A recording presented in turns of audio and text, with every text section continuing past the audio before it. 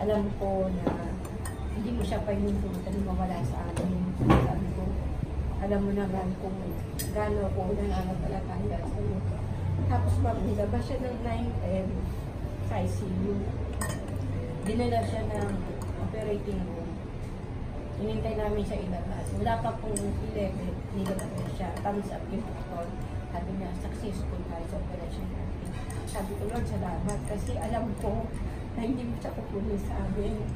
Tapos sabi ko, ah, Lord, sabi ko, tuloy-tuloy na po sana ko niya. Tapos nung time nung bago po siya operahan, wala talaga kami pera mag nakamba.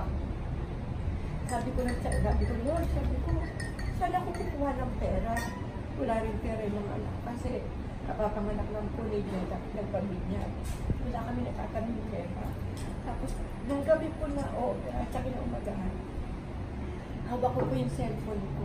Lahat po talaga ng batchmate ko, kaklase ko, kaibigan ko, batchmate niya, kamag-anak namin. Hindi na po ipan ko. Ha?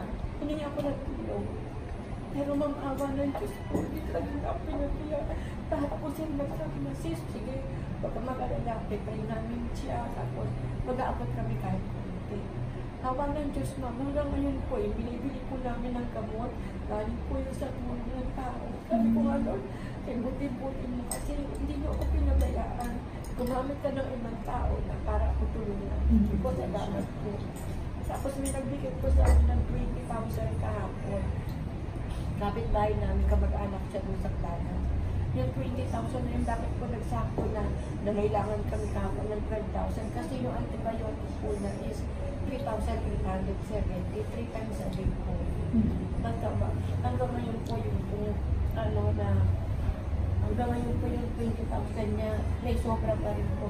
Tapos kailangan ko pa rin po bumili yun ng 12,000. Ay, awa naman po ng Diyos, may natitira pa po ako pera. Sakto po talaga siya.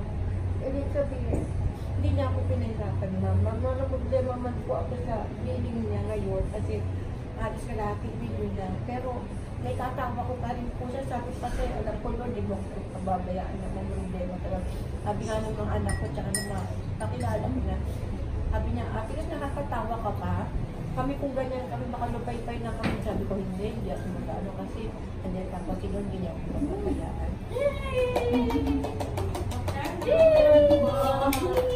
Sabi ko, alam ko na. Ba, abot? Alam ko na tutulungan niya ako. Sabi ko. Lahat po ng kaibigan natin, kabatch natin, nagbigay sa akin. Sabi ko, Lord, kay mo